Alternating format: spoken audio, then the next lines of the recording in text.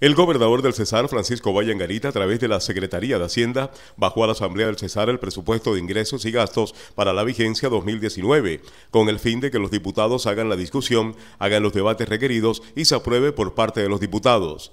Necesitamos más inversiones en lo social, bajarle un poco más al cemento, pero que de verdad se sientan eh, los cesarenses tranquilos de que existe un presupuesto que de verdad se va a ejecutar.